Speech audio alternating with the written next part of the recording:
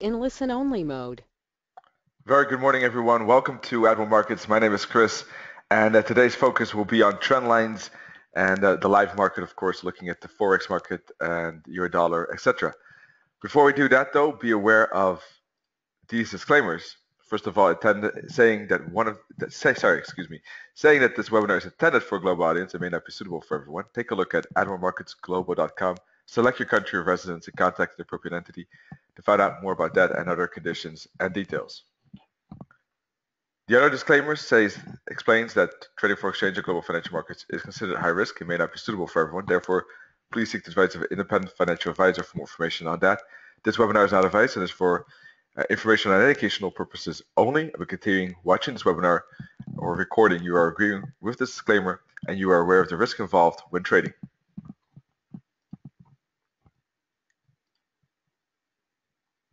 Alrighty, good. Thank you so much for your attention.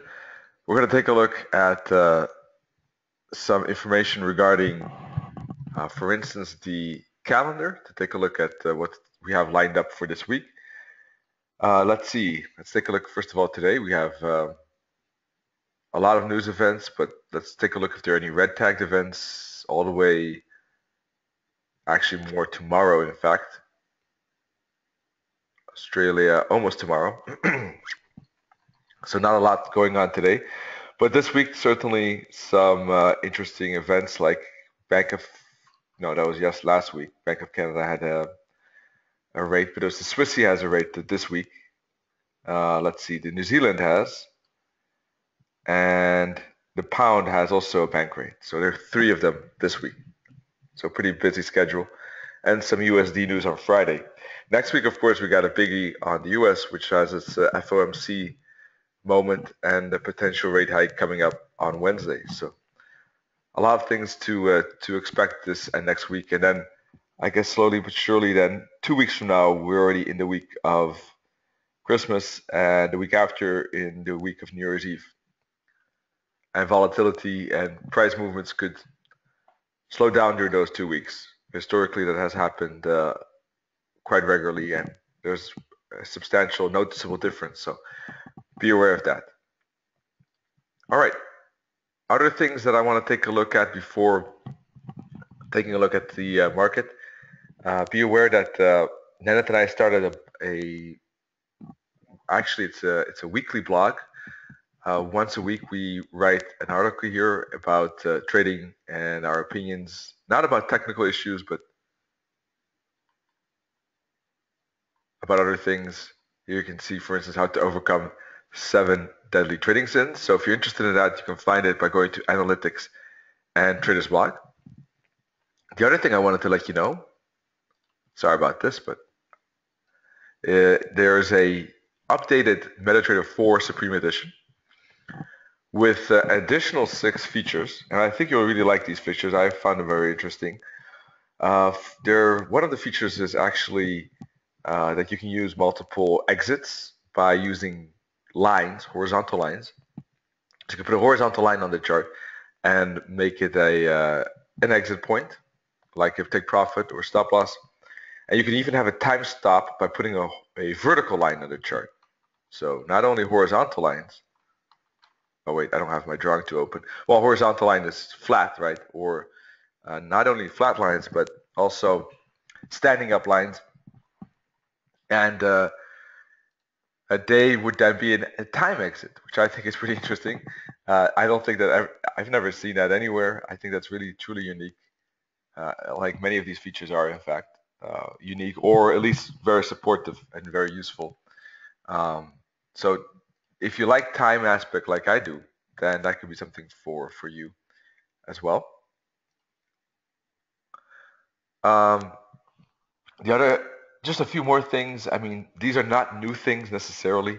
Oh, one, one more new thing actually. Uh, that's their very good order history you can see. And there's also an indicator that shows how much time is left to the next bar. That I think is, is a very useful one because you know, so you have to always calculate like when is this bar finished. Of course, the hourly candle is not maybe that difficult, but with a four-hour candle sometimes, yes. Just very useful, I think personally. There are some other things that um, uh, just like supportive things that are easy for traders that are maybe not so used to adding indicators like a high-low indicator, like a pivot point indicator, like a Renko uh, chart, which other traders might have already, but some of you might have difficulties get, or some people have difficulties adding, and those are then already there to be found. All right. So check it out. There are about almost 70 of them. Now, probably won't need all 70, but I'm sure there are, uh, you know, three, four, five, six, seven, eight that you might find interesting. So take a look. If you have a MetaTrader 4 Supreme, you can download the new edition already. All right. All right. Let's take a look at the market.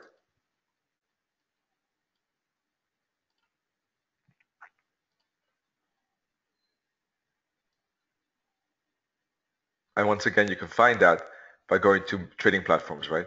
MetaTrader 4 Supreme Edition. Good morning, Beverly.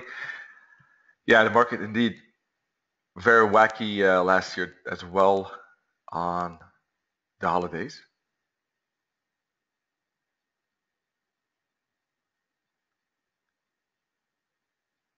Great, cool. Yeah, I, I uh, did have it frozen uh, indeed. So let's take a look at euro dollar. Big upside on Thursday, finally. Uh, something that kind of kept in the back of our minds as we were analyzing this chart because of uh, many factors, divergence, falling wedge, big monthly support level at 104.5. So there was kind of, uh, you know, good evidence that uh, a rebound could happen. And sometimes, unfortunately, these rebounds, the, the technicals do occur at big news events, which is in a way a pity because uh, therefore I'm not really uh, joining the the party that much because I don't like to trade during these events. It's too wacky, too too volatile. So the upside happened without me, but that's okay. There are always other trades to be found, and uh, it was a big bullish momentum, and price obviously showing about 400 pips to the upside for, or 450. And now slowly but surely retracing back to the downside, making kind of what could be a, a bull flag basically, right? Chart pattern here like this. It's a corrective channel, but it could easily be a bull flag as long as it stays above, at, at the very max, the 50 fib. As long as it stays above the 50, uh, I would say this is still a bullish zone.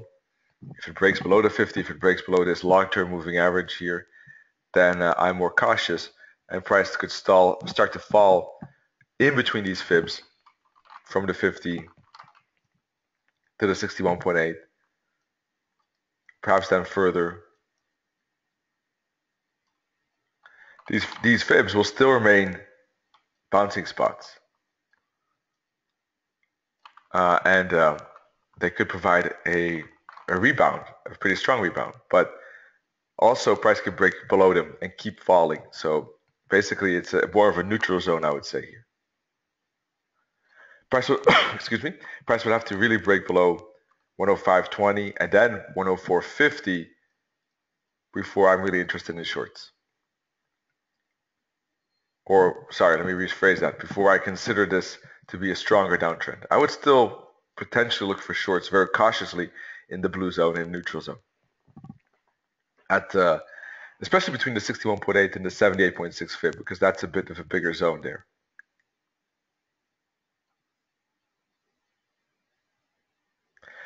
All right, that's the downside. The upside, I would say, is still prevalent as long as price, as I said, remains and respects remains above and respects these these support Fibonacci levels.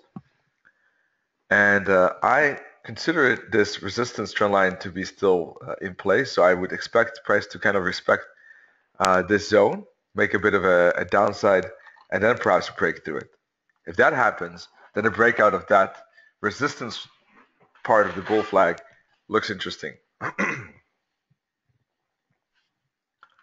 so let's see if that happens. I would like to see price actually stop here, make a small dip, and then start to climb and break. If it starts to uh, break the second time here, I think that's an interesting breakout trade. What kind of break would I would like to see? Basically, I would like to see a candle, uh, an hourly or perhaps four-hour candle uh, above this blue line, something like this. The blue line indicating the trend line. And basically the majority of the candle outside of it and a close near the high. Preferably a bit stronger candle as well. So that would be, I think, a signal of continuation uh, on this this upside. Now, Wei has an interesting point. Hi, Wei, good to see you again. That the spike could be something maybe of a false kind of move up, or or maybe not false, but uh, it was just a retracement, and then we could expect maybe more downside. And is referring to the 5th of June 2014. And yeah, that that's always a possibility indeed. So from that point of view, uh, let's take a look at it from that point of view. All right. Uh, I think that there's no way for sure to know, as always, which one it will be. And I think the only answer, or at least in my opinion, the only answers that we can use are either waves or uh, to, to have an idea if this is a retracement or a correction. For instance, we could use trend lines and just use them as borders and say, okay, if price goes through this area, uh, it's probably going to be a continuation. If price goes through this area, it's probably going to be a downtrend continuation. Uh, so I guess we have to just use tools and monitor uh, what price is, is, indicating to us as most likely. Uh, at this moment, considering various factors like, for instance, the monthly bottom here, uh, considering the, um, I would say the corrective nature so far, and a trend line a bit higher on the daily, I would probably think that an upside at ABC zigzag is the most likely. But for that to happen, for me to be interested, I would like to see a breakout above this bull flag, which is still a bit of a shaky, not a perfect bull flag, no, not a decent looking bull flag to be honest.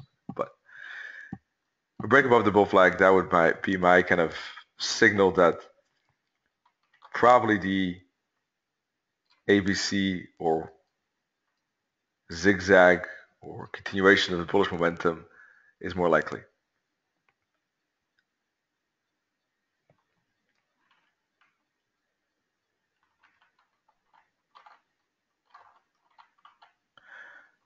And if price breaks below these fibs, then I'm more cautious. That's probably, I think, the best. As I already said, I think that's the only way to really measure it.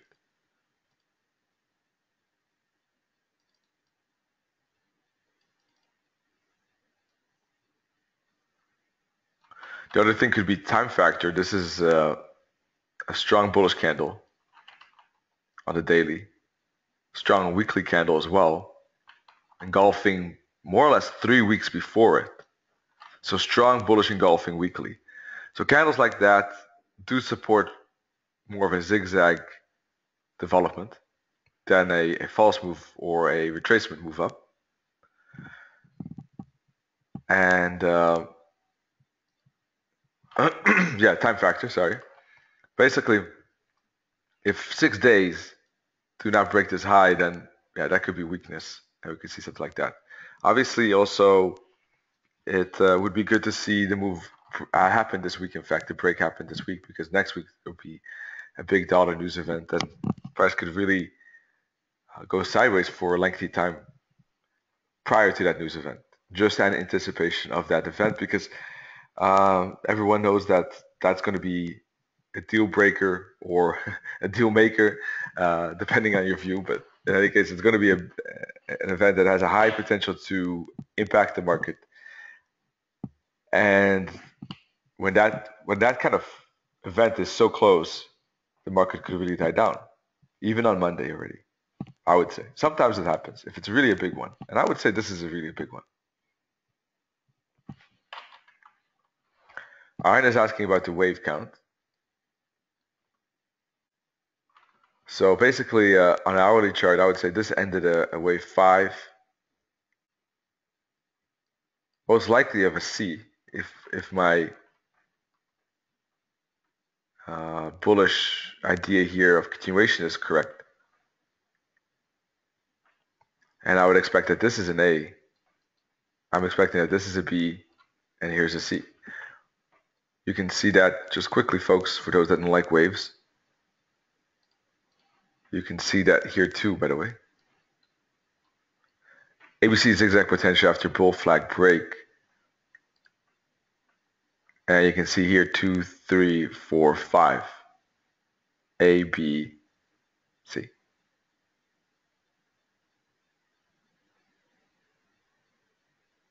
You can find that, you can find the wave count by going to analytics and the wave analysis, and then you'll see the one hour chart right here.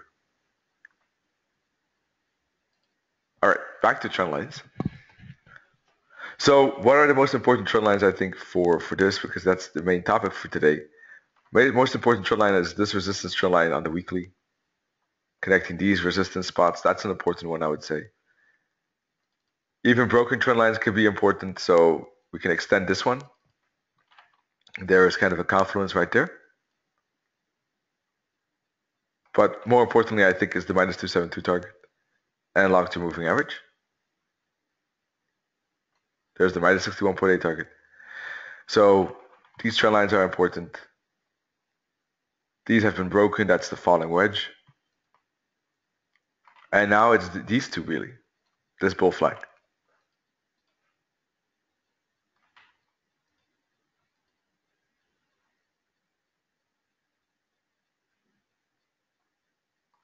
So let's see how price responds here. I would expect a small dip.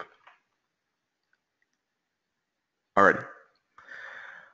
Pound USD had some interesting trend lines too. This was a break I didn't like too much last week. Unfortunately, I didn't like it too much, but sometimes, uh, as you can see, ignoring some breaks uh, leading to a failure to to trade it nicely to the downside. Unfortunately, it was a good move, and uh, that can happen sometimes when I'm overemphasizing maybe a retracement that turns into uh, only just a, a one leg here instead of a, the anticipated three leg correction that I was hoping for.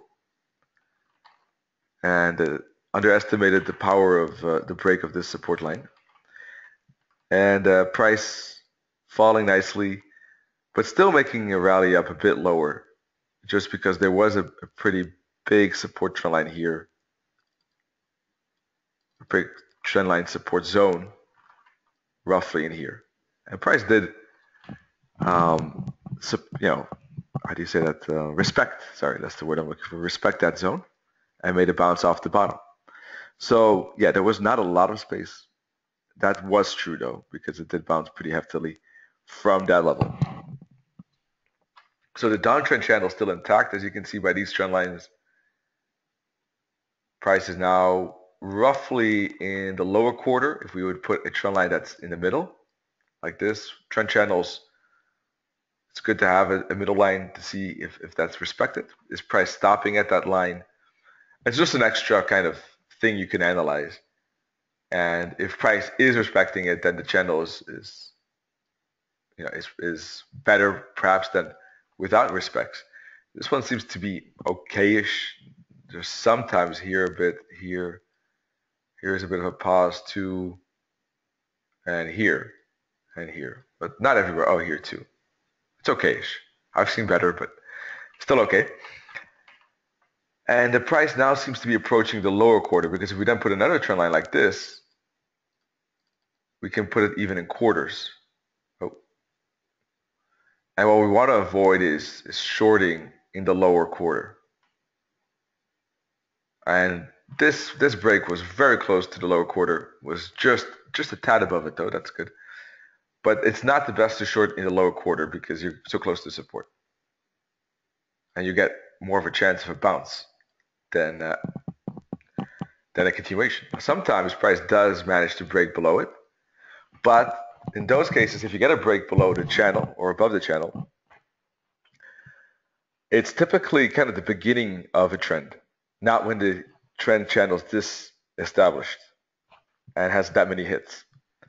And the reason is because if a channel is, is just starting, like this, and you get an up and a down and up and a down. The channel is quite narrow. It doesn't have much space. So often it, this could be a, a, bear flag, but the other option is that it's it, it's a turn of a, a trend, and to get more space, price kind of expands by going above it and then again continuing.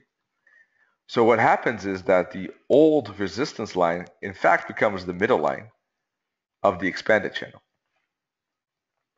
Does everyone see that? I know it is a bit confusing with all those lines. But that's when an expansion, a break of resistance, and an expanded channel makes a lot of sense. This could happen with the pound dollar too. I'm not saying it's impossible because uh, from a wave perspective, if it breaks through the support, there could be an acceleration. So in this case, I would definitely uh, be open to it just from a wave perspective.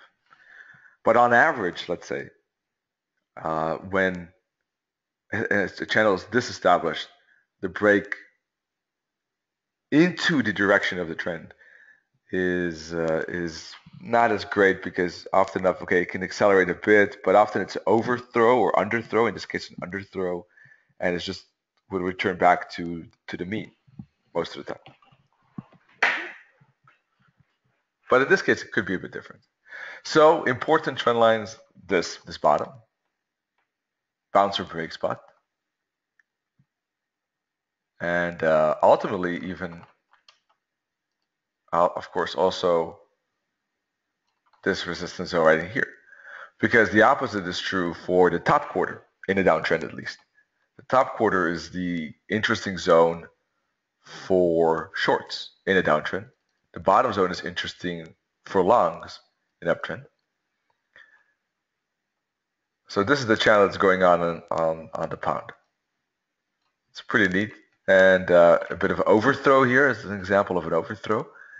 And I don't mind cutting through a bit of price action when building a trend line, when, when drawing a trend line or building a channel, as long as uh, as the trend line itself becomes better. Either we get more hits, uh, either um, let's see, we have a better angle. So in this case, we have both. We have a better angle, a, a steeper angle, which is for a trend channel better. And we have more hits. Now, I don't mind actually drawing two trend lines even on, or channel and a trend line, because often enough it's more like a zone than an exact line, right? Just like moving averages are a zone. They're not precise precision points. Fibonacci is different. Fibonacci tends to be more indeed of uh, a level where we can really count on one precise level. Even with Fibonacci, we have price going a bit through it, right? I think the most obvious levels that are uh, precise are round levels, like 140, 130. And uh, second category would be tops and bottoms. These trend lines are not really relevant when drawing trend lines, they, they still have to be relevant. Otherwise, why have them on the chart? Our chart would just get clustered with too many uh, too many things on the chart. So I can take those away because this trend channel is more important than those resistance trend lines, which are way, way far away from price, right? So um, that's a bit about trend channels. Let's go down to the four-hour chart, and we're in close to the quarter line here. And uh, could we have a similar break basically as we had here? Here we had uh, a rally from the from the bottom. Here we had a rally from the bottom quarter, and we got a bit of a triangle here and here, and two breaks into that last quarter before getting a bigger bounce here again. Could we have a similar one? Well, if we zoom into the hourly, we see that we really don't have a similar trend line like we had here. All right, so let me take that away now. You can see the difference. The difference is that the trend lines are now pointing to the downside, like this. It's like a channel to the downside. So it's like, a, in a way, a, a bull flag as well on the pound. All right. Now we talk a bit about this fib first so I can remove it. Basically, if we take this move down to this move, which is the top of the channel, down to the bottom of the channel, price stopped at the 38.2 fib and caused a retracement But the retracement, as you can see, has been corrective so far. We're back at the opposite 23.6, which is probably halfway the upside. We'll take a look in a second. Could that be a bouncing spot perhaps up to the 50 and middle line, which seems to be a resistance spot there? Not the middle line, actually. It's the quarter line, quarter zone. Yes, so the 50 fib there, I think, is a strong resistance spot. Let me take it away now.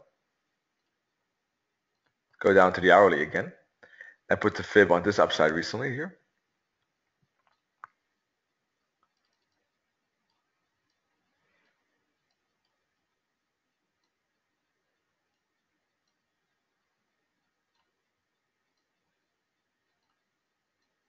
Get the fib right here. 50 fib.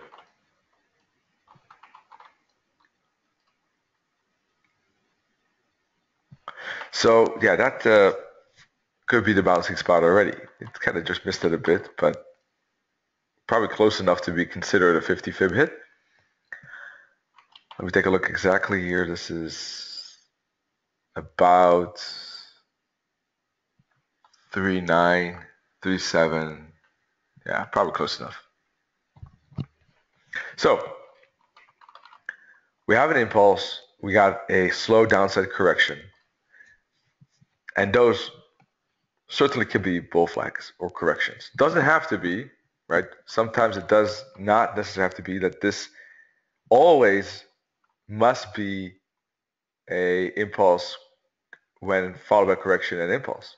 No, it doesn't have to be. It could be. In some cases, we do see bullish impulse, bearish correction, and then bearish impulse. It does happen. Don't get me wrong. That's why a break of, of these fibs, break of 23.6, could see a fall down to 38.2 fib. Right? What happened actually yesterday. Look here. This this one candle filled up that gap right there. You see that? And then we had a consolidation zone again. And once we broke the 38.2 fib, we had a slow downside. I actually just missed the 50. So if we break the 50, maybe a bit of a slow, downside to the 61.8. There's more space here yet again, right there. All right, the alternative is the alternative is a break of the bull flag here. To the upside. We got about a couple of hits here. Those are pretty far away. So I would like to see a recent hit, just like with the euro dollar, and then a, a, a break later on. So from my perspective, it looks like that I would like to trade a euro dollar pound dollar break to the upside, but because we're looking at hourly chart, I would probably like to trade it in New York session. Because for it for price to make it up, a small down, and a break, that's going to take at least some hours, probably several hours. Uh, Ray, this this webinar is recorded and uploaded to uh, YouTube, and you just need to look for Admiral Markets. And uh, go to their YouTube channel, and you'll see the uploaded web webinars, but you also see the playlists and all the all the webinars, and you can look per category as well through those playlists.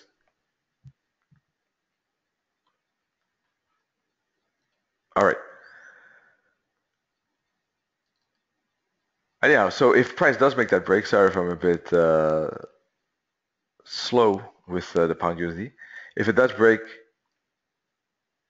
then I would expect price to go up and complete an ABC zigzag up to the minus 272 target. And the bottom of the top quarter line.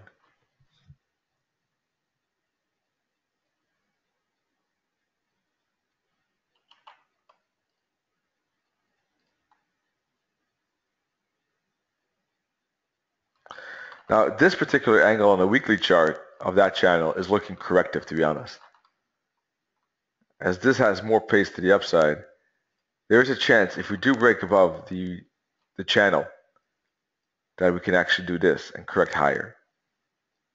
But this is very high time frame analysis and uh, It's just something to keep an eye on uh, for the next few months.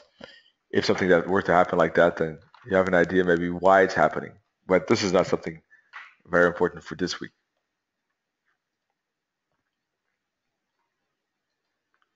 All right, yen is in a uh, in a range like this,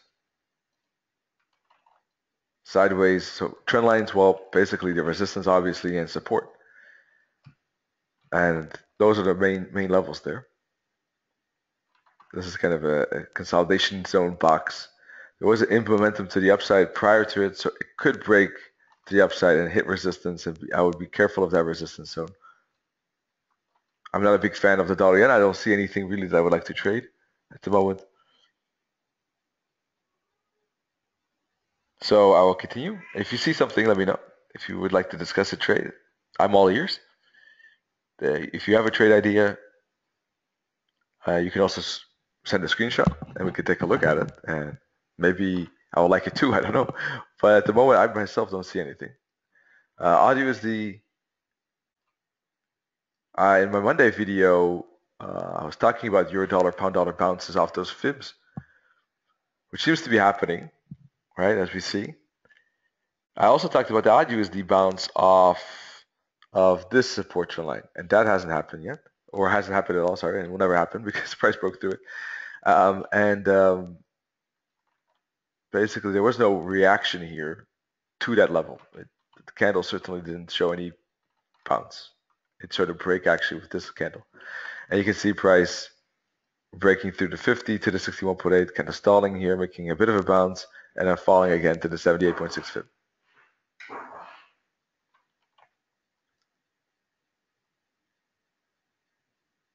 All right. Despite the break of this support level, I still think there's reason to to see support in general. Well, one of them is this, but that's pretty far. Uh, the other trend line we can use this one, but that's pretty far. It's like an expanding wedge. We can connect these tops perhaps, like this. Now price did test it, but really didn't break through it. Let's zoom in. You see, not really a break there. So that could still be a bouncing spot actually. Um, well, it has already been a bouncing spot, sorry.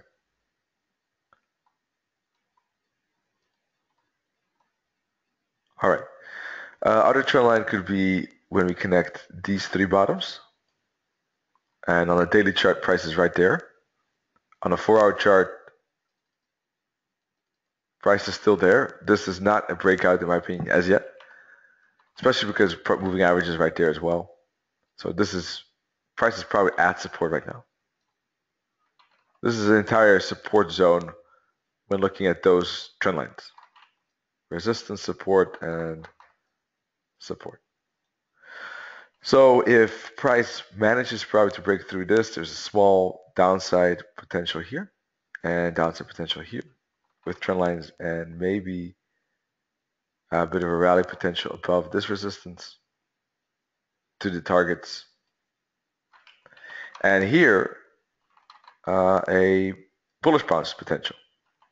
So let's take a look at that. I would say it seems to be the most likely thing to happen.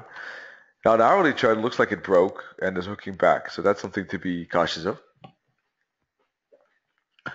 Uh, strong momentum to the downside on the hourly.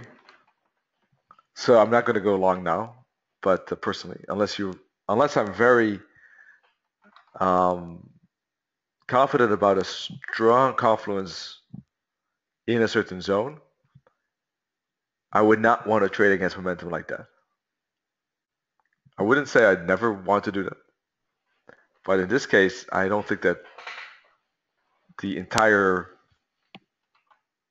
let's say, uh, analysis wouldn't be strong enough for me to jump in, in along right now, considering the pretty choppy daily chart, but also the strong downtrend prior to that.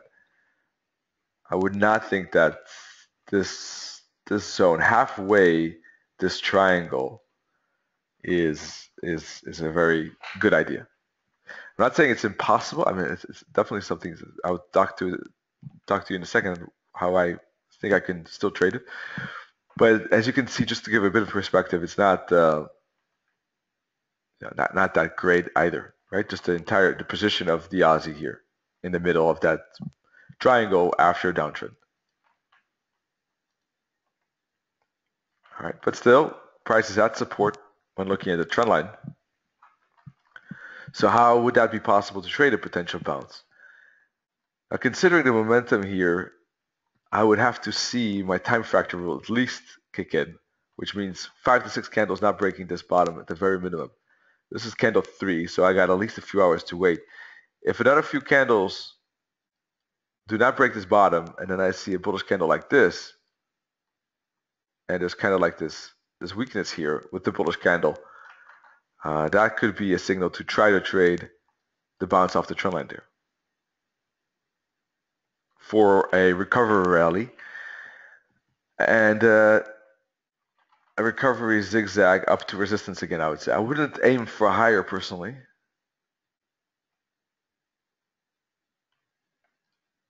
I'll put a fib from here to here. And I think the 61.8 fib probably is a good target. A bit of a small supply demand zone there. So something like this, I think seems to be uh, reasonable to expect. So 73.20,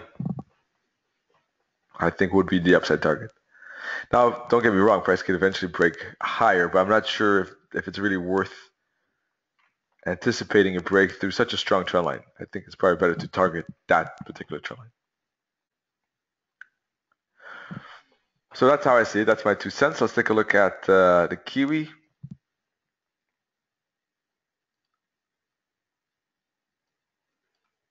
Kind of funky looking because of the strong volatile move up, then uh, kind of like a, a I don't know, it seems like a ski slope here or ski jumping slope. Um, from that point of view, a bit strange how it looks like, but um, I think we just made a name for new new chart pattern. Has everyone has anyone heard of a ski slope? Or ski ski jumping chart pattern?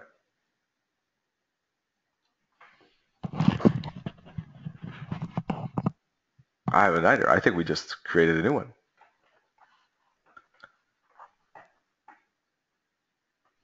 Great. yeah. so we call it the Admiral Markets, uh, the Admiral Markets ski slope chart pattern. It's a bit long, but I think it's bearish ski slope because uh,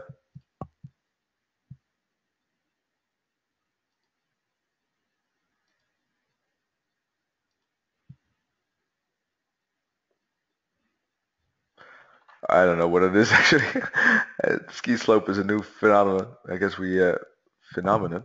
I guess uh, we have to still see what it uh, proves to be. But I mean, I obviously was bear bullish on this Kiwi, right? So after this break, I'm not sure if Caitlin is in here. Let's see. Not today. Caitlin was also bullish, but uh, and yeah, we did have a good break. However, a daily candle like that being bearish is uh, is kind of a, a, weak sign of this this breakout. So there's a bit of a struggle here with the upside.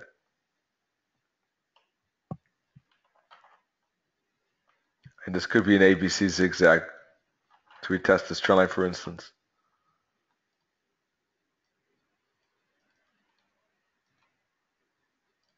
I would probably just sit on the sidelines for a moment. I'm not. Obviously broke this trend line here, but that's not, not an easy trend line to put because it was a kind of a passive break. What I mean with passive break is when price just goes sideways. By going sideways, it pushes through a trend line. Well, that's not really a breakout that is very desirable to trade. And uh, now price is trying to make a rebound. But uh, this could easily be just part of a, a correction. So I don't see really any trade setup that I like at the moment here. But there is support, so let's take a look at the weekly. From a weekly perspective, it doesn't look that bad. Bullish candle, strong bullish candle, that looks bullish.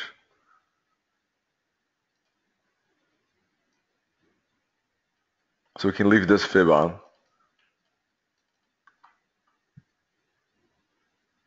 Any of these fibs could be bouncing spots.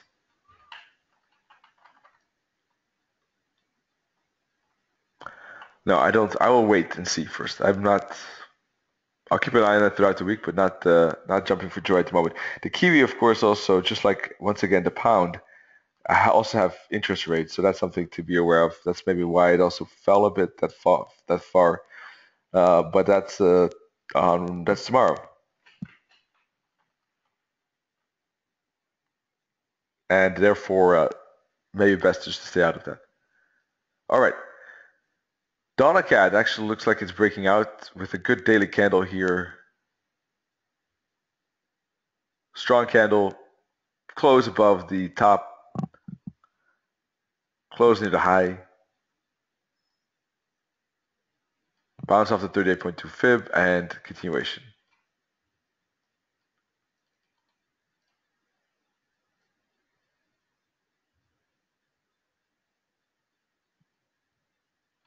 So from my point of view, a retracement, let me get rid of this fib. From my point of view, a retracement of that daily candle and a continuation is a good trade, I would say. Should be a profitable trade. All right, now will we get that retracement? I'm not sure. You can see prices hanging in here. So we might get one more upside before getting a retracement. I'll just keep this fib on unless it hits the minus 61.8 fib. If it hits the minus 272 target, uh, I wouldn't move it. It could hit the target and then retrace uh, down to the 23.6 or the 38.2 fib and still bounce and then move up to the 61.8. I don't see any interesting trend lines at the moment, except maybe on a 50 minute chart. Let's take a look.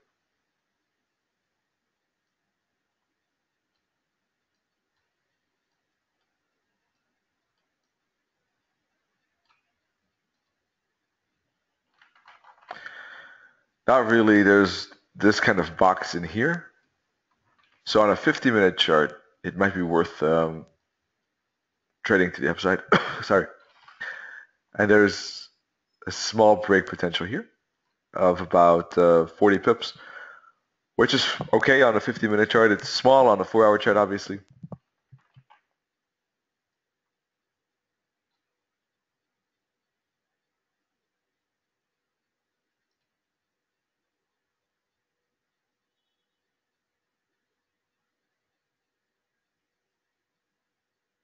And this is a pretty strong momentum on hourly chart. We're looking at 32 candles not touching the 21 EMA band. So this EMA band is most likely, excuse me, is a high chance that this will turn into support when price does retrace back to it. So that just supports the, the idea that if it hits the 272 target and goes back to the moving average, that that's a high likelihood of a bouncing spot.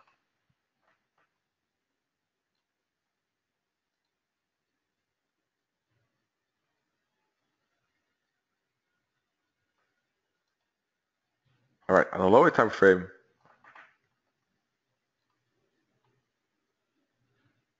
I'll probably want to see a small little gap here on a five minute chart.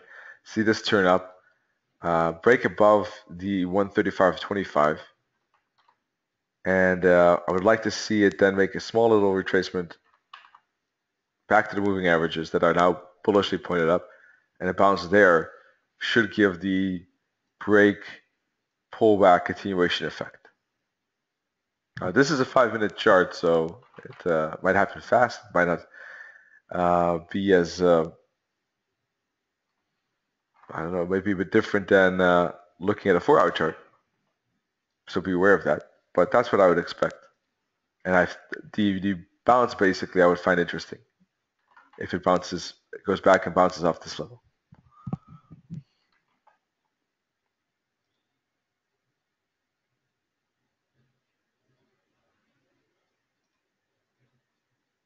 Now, even the breakout here is not uh, that bad, in fact. And might uh, be perfectly fine uh, as a trade with a stop loss below these bottoms or these bottoms here. But personally, I'd rather wait. I would rather just let it prove itself to me. I would rather just rather uh, see it break and hook back than uh, than take it right here. Anyhow, it's now at resistance. But even here at the break of this moving averages,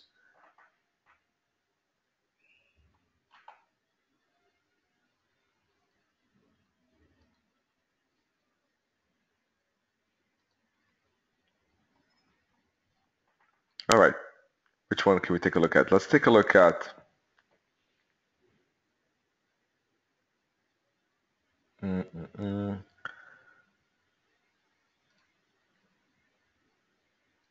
Let's take a look at yen and. Euro yen uh, was challenging the support channel. I remember we were talking about that channel to the downside and saying that here's not really much space uh, but it was breaking below it, so perhaps it would have been a continuation consolidation.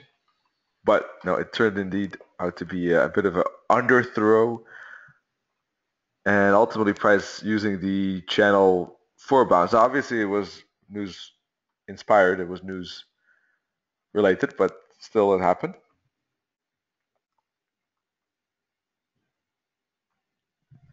And uh, we saw a pretty pretty big impulse uh, to the upside after that. And there was kind of like a uh, a cup here. Was it cup and handle? I think looks like a cup and handle. If you let me use a orange color here. No, a let me use a pink color. I think this is how it looks like. Ah,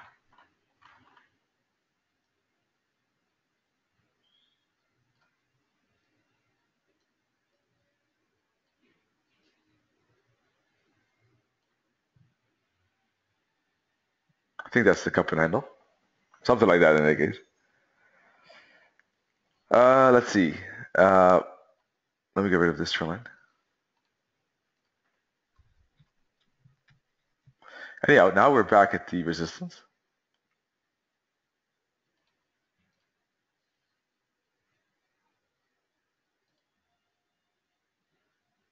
From a weekly perspective, uh, this is actually looking more like a corrective channel. We had impulse to the downside and to the upside. So what I'm suspecting is that already a long time, I think that this could be a three-wave correction to make a head and shoulders, and then we can move down like this. So that's what I'm looking at. So uh, that first step would mean a break of this channel to the upside.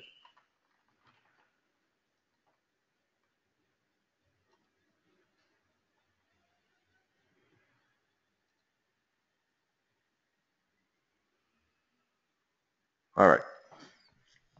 Now looking at the hourly, it looks very similar to the euro dollar.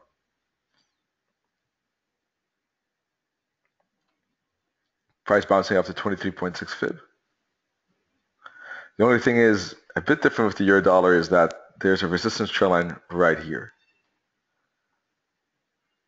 So no, I think I'll have to wait on this one. But from a daily perspective, I'm certainly curious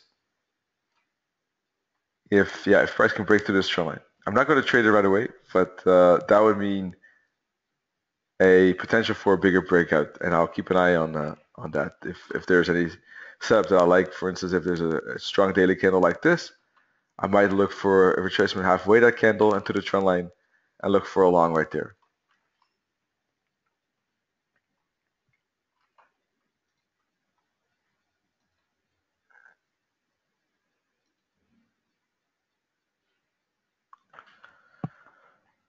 All right, pound yen broke through support.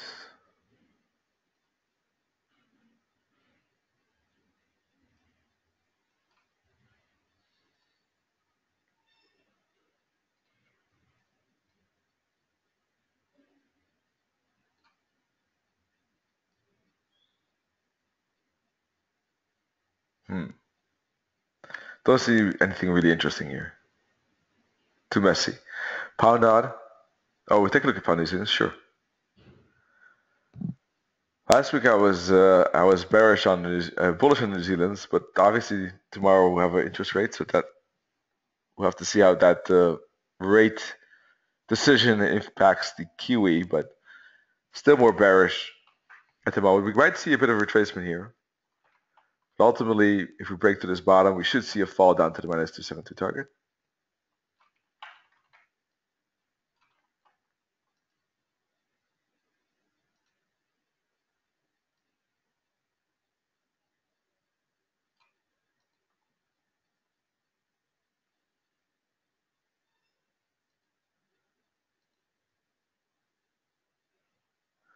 Now we can use these single trend lines, of course, to anticipate breaks like this.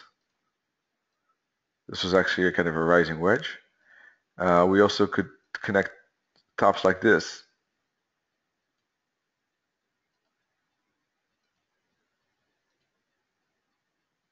And tops like this. So it seems to be more of a resistance spot here. And this seems to be a breakout to the downside, I would say.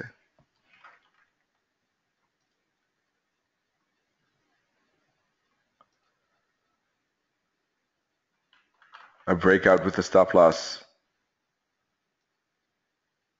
I would say above these trend lines is, should be enough. Well, you never know for sure, but I mean, I think that I wouldn't see any reason why it should be higher than that. But you know, with the pound New Zealand, unfortunately, it uh, still adds up to uh, more than a, probably more than 100, uh, even on the 50-minute chart, just because this pound New Zealand moves that much.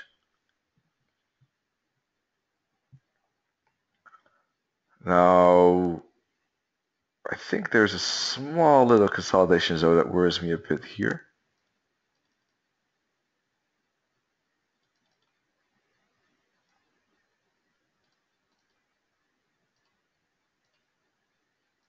which limits the take profit to 60. That would be too tight. So from that point of view, uh, I'm not sure if this is. It's it's it's definitely breakout. I'm not sure about the profit potential is really enough to compensate the risk, but uh, so that's a bit of a question mark in my my view. I'm not sure if uh, if you see the same, but this to me is a supply demand zone. I would be leery of that. Obviously, if the target is put somewhere here, it's R2R is good, or maybe here even, the previous bottom. R2R is, is okay, but then I'm not sure about the chance that price will break through this zone without giving a bounce. Like this. So what I might do is, is wait for a, a pullback back to the channel again, a hook back here.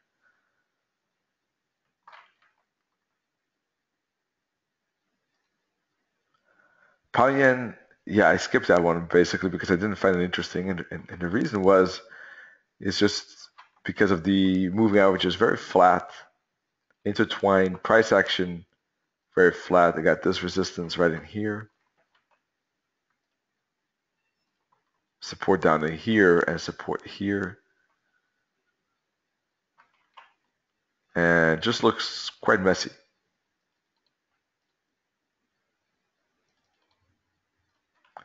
We broke this trend line. But price has gone, gone sideways as well. So it seems like a consolidation zone, sideways kind of movement within a sideways movement and doesn't really appeal to me. Maybe on a 50 minute chart looks better. Let's take a look.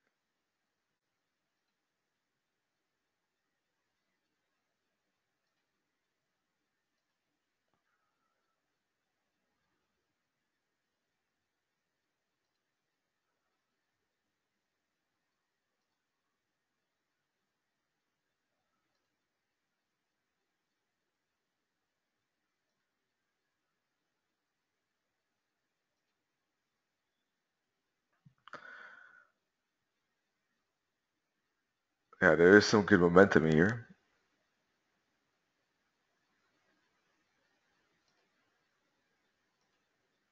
But I don't see any trend line that there was a trend line in the past, like this one if we connect. Maybe these bottoms like this. It's not a, a very good trend line. Maybe these bottoms like this. Those are trend line breaks, perhaps.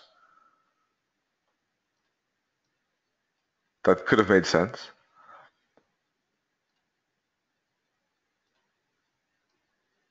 Also, this trend line, the resistance trend line, um, interesting one. But at the moment, I don't see any trend line that I find very interesting.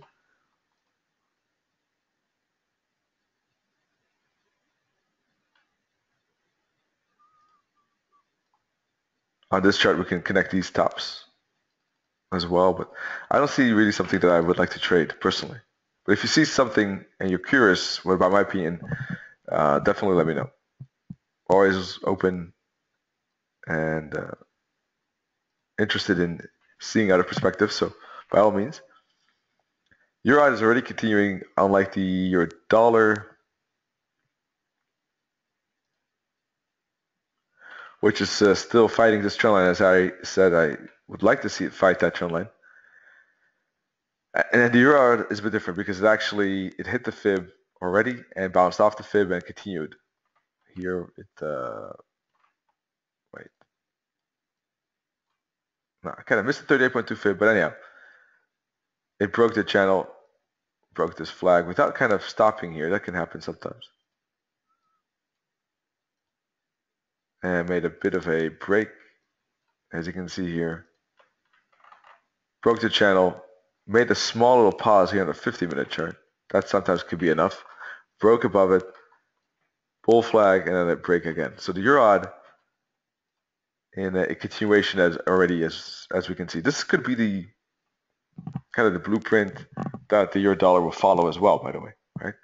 Momentum, correction, break of momentum, smaller consolidation zone within momentum, and then continuation of the continuation right? Because this is break or the first impulse, this is pullback, this is the continuation. And within the continuation, we have a break, pullback, and continuation.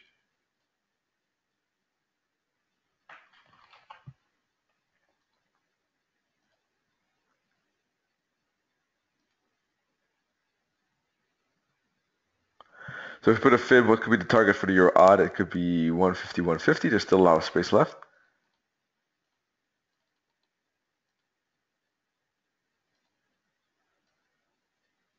And I'll put a fib on the four hour breakout candle, which is this one.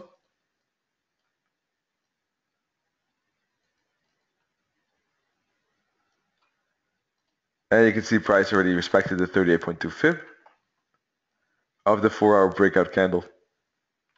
And I'll close to the minus 272 target.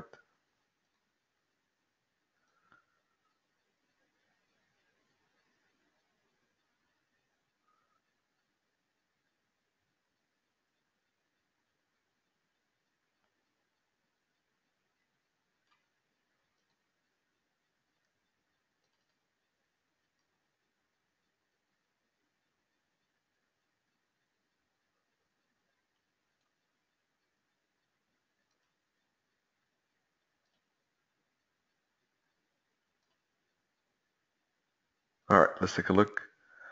Target is 150, 130 here, the main target, which could be a resistance spot and turnaround level for uh, an ABC zigzag. That's something to keep an eye on. And the other could be how it now because it's uh, it seems to be pretty close. Uh,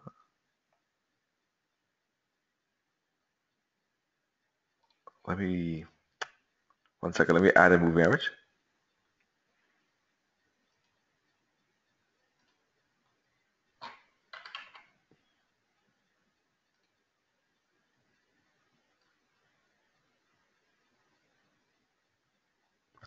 I would probably have to see price move back down into these fibs, either again the 38.2 or 61.8 before a move up again is interesting in my perspective. taking a trade right here with the stop loss here and a target here is not interesting. Uh, stop loss here, I think, is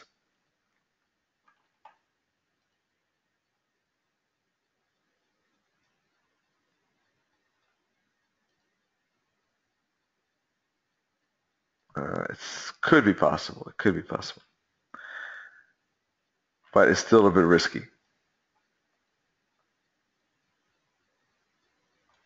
I would probably rather wait maybe for this hour candle to close. If it closes bullish like that, then a retracement of the hourly candle uh, might be enough already. It doesn't maybe have to get back that deep.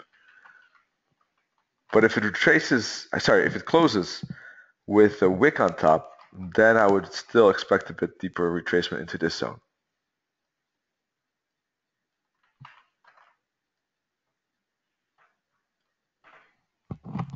So let's see if this candle closes bullish. If it closes bullish, then I would probably expect it to go only about halfway the uh, this hour until this zone right in here. So that needs to close bullish and the next hour retrace.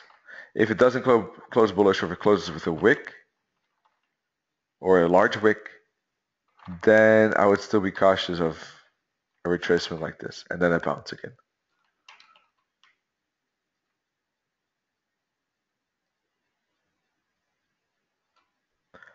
All right, Euro New Zealand is nothing different than the other euros. It could be a zigzag as well.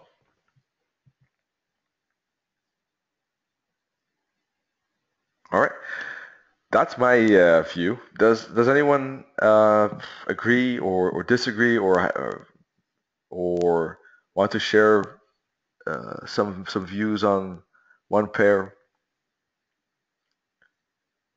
Do you want to see a other pair maybe that we haven't looked at? Are you interested in any particular pair for a potential trade? Do you have any trade ideas in mind?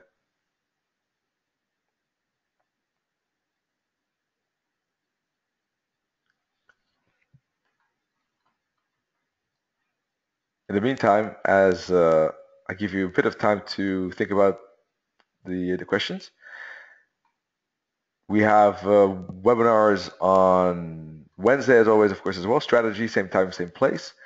We have in the evening, then it's going to take a look at uh, profit stops, how to manage your trades. Thursday evening, then at the night, to take a look at building a forex strategy from scratch, taking a look at how you can, uh, what kind of steps you should look at and uh, things you need to consider when developing your own custom-made strategy.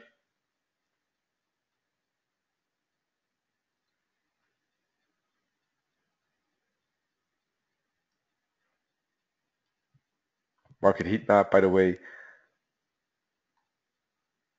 showing your AUD a big mover.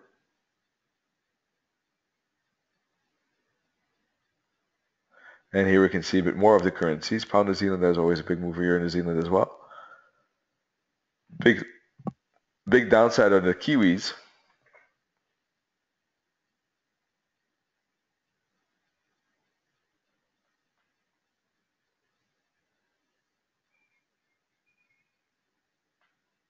Euro AUD here.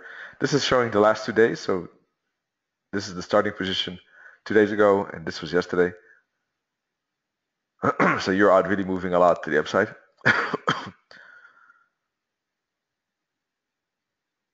and this one is New Zealand yen. Didn't move twice in a two days in a row. Didn't move anywhere. But the first day it had a lot of volatility, and the second day a lot less.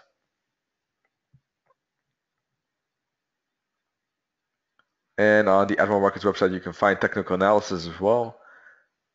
And here you can see Nana talk about the dollar CAD uptrend as well.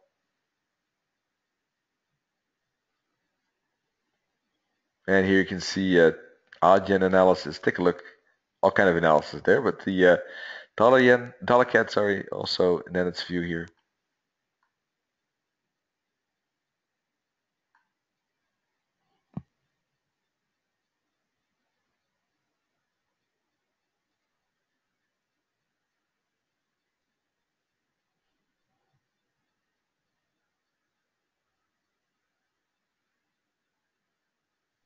Alright. Uh, are they live chart? I'm not sure what the what the question means. This is a live chart. Of course, these screenshots uh, we saw on the website is is a, is a it's a snapshot, right? Because it's a it's a screenshot. And Beverly says that uh, it makes sense. It's good, and we've covered most of the uh, the pairs. Okay, great. I think we can only take maybe a look at uh, let's see a dollar Swissy maybe.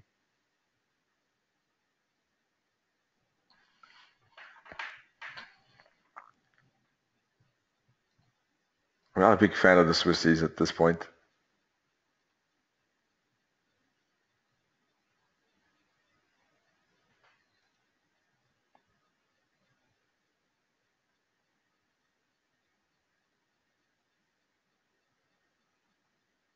Too choppy.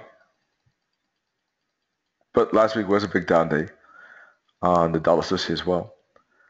Pound CAD could be, by the way, something to look at. Pound CAD in a big uh, correction, bouncing off the 38.2 and fib and uh, moving averages after a pretty strong impulse here.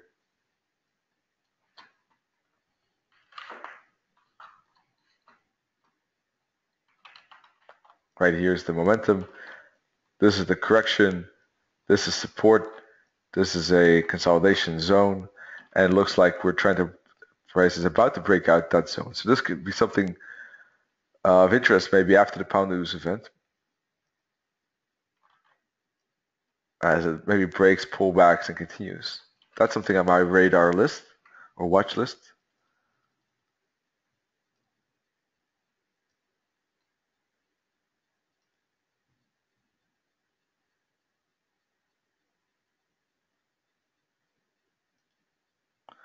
All right, I don't trade the DAX, but it's pretty interesting how it did, how it happened here. It's kind of like a bounce, break, pullback, continuation off the trend line and off the 38.2 fib up to target. Then bounce off the target pretty strongly, but still respecting that same 78.6 fib.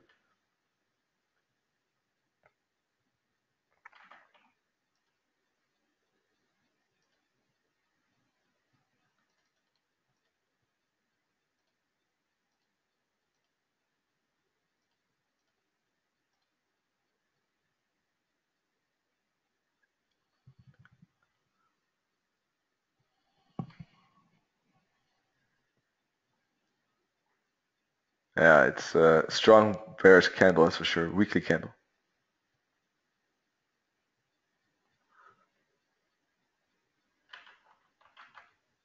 Still, I would say it needs to break below this before really more downside could be expected, perhaps to retest this bottom again.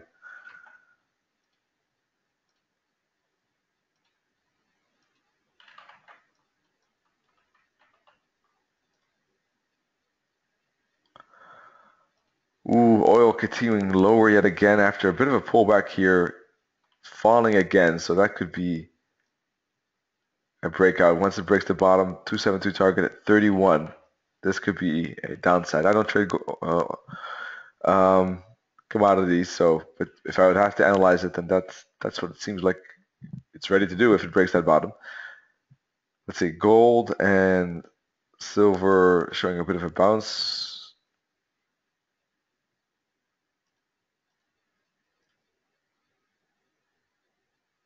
S&P going nowhere at the moment.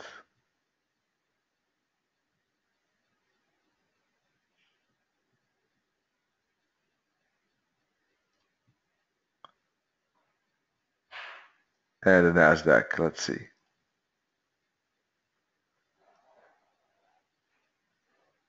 Same thing really. Doji last week, right at resistance. Looking like a bit of an ascending wedge though. Sitting on the sidelines, I guess, till uh, till next week, I would say.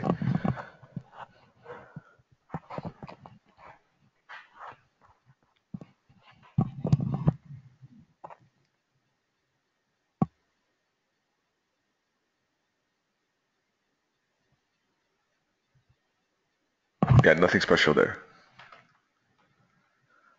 Uh, do, do you see something particular, maybe, um, But what I'm missing, let's see. Got another bullish candle though. Did post a new higher high though.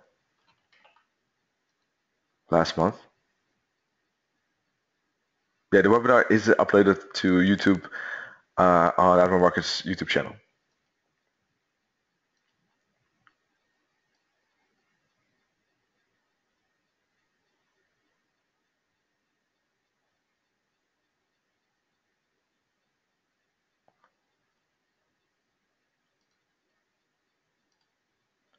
All these New Zealands still have the same problem with the interest rate, I would say. So we can skip those. Yeah, I think that's really the, the most important there. So from that point of view, uh, I think we discussed everything. Still a few minutes left to the top of the hour. We can take a look at uh, the hourly candle. And in the meantime, in those last few minutes, I would like to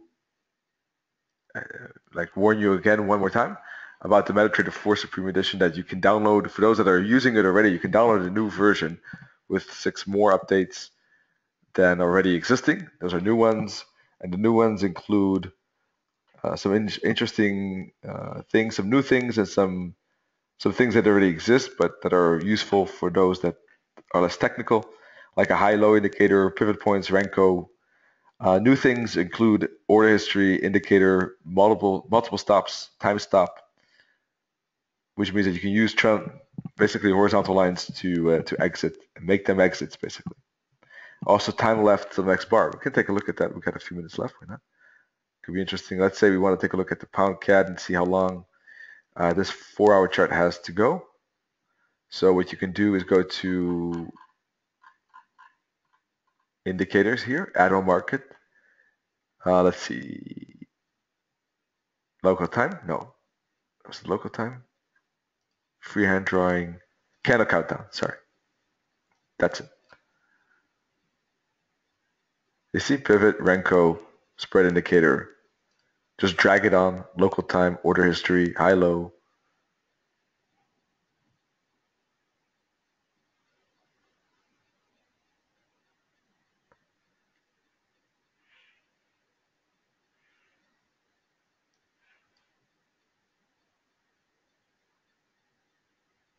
There's some things you can change where it is, the label position, by the way, for instance, that's something you might want to change if it's the bottom right or if it's, you know, etc. Or if you want to ha have it near price.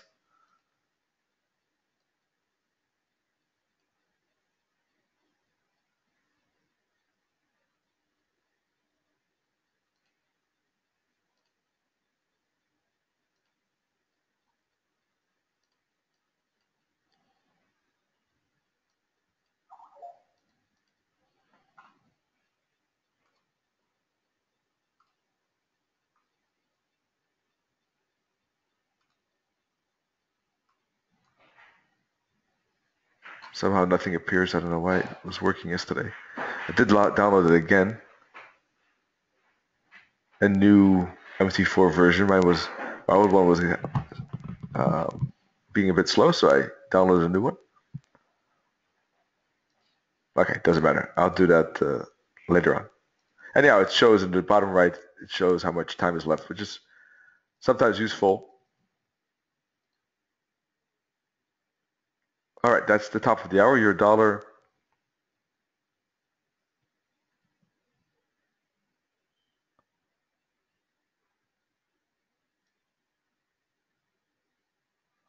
And this could be the hit I'm talking about. This little kind of doji here could uh, could cause small dip. So what all I need is really just a, a small one. Hopefully not too big, otherwise the break will probably not happen actually. Another trend line we can think about is this one. Uh, specifically, if it breaks through this fractal, uh, that could actually be an opposite break within that channel, down to the 50 fib.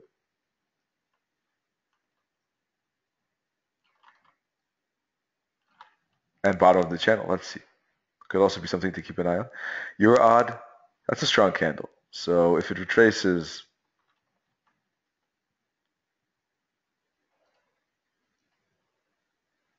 for the Fibonacci candle. And uh, let's see.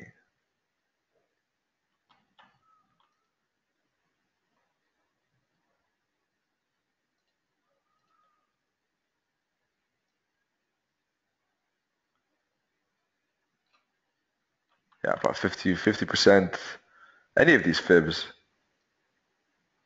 preferably 50 or lower. I don't think this bottom should break. So that could be a stop loss level below 150.10. Target here at 151.25. If the entry is at the 38.2 fib is at 50.55, which would be about 70, 65 target and a 50 risk. That's okay. If it's the entry at the 50 fib, that would mean 75 target and 40 risk. So that's better. 50 fib seems better.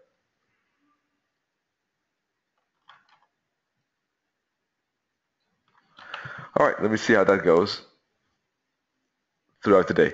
Got two questions adaptive. I'm not sure actually, MJ. Uh, I don't use the RSI myself. So I'm not 100% sure. Maybe maybe Ned would know. What is the name of the orange-green indicator on the chart? Let's see. Orange-green indicator on the chart. This is a moving average. It's a MA indicator, which uh, changes color depending on the angle. So if it's bullishly angled, it will be green. If it's bearishly angled, it will be orange. Or you can make it any color you want for that matter. If you're interested in the indicator, I can send it to you. Just send me an email to I'll send you the address, my email address. One second.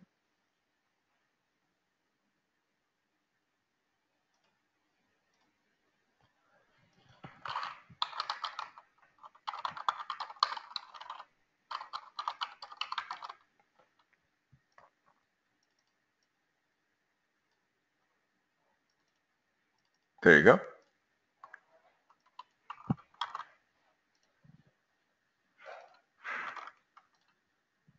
Alrighty. It's in the uh, it's in the in the chat box. All right. So thank you for joining. Wish you all good trading. Let's see. Uh, today should be uh, no massive news events, so that should be still uh, a bit more doable. But tomorrow, Thursday, uh, got some big things going on. Next week, Wednesday. So let's see. Be careful, and uh, wish you good trading. And Hope to see you soon. Cheers.